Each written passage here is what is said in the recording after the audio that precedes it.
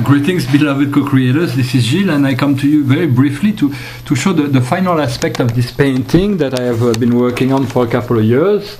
Um, it is a painting of the solar system, and uh, um, I've had uh, quite a little bit of difficulty uh, with this part here, but uh, now it seems to be really well integrated.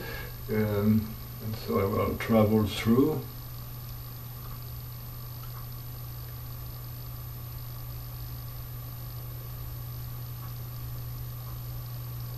All sorts of little planets. I hope to very very soon to be able to show those paintings so you can come and see them physically um, because it's very difficult. They do not uh, they, they, can they can't really be uh, fully uh, Bamberga has been added Neptune. Yeah, we have all kinds of planets. The planet Amor, Neros, and Chiron.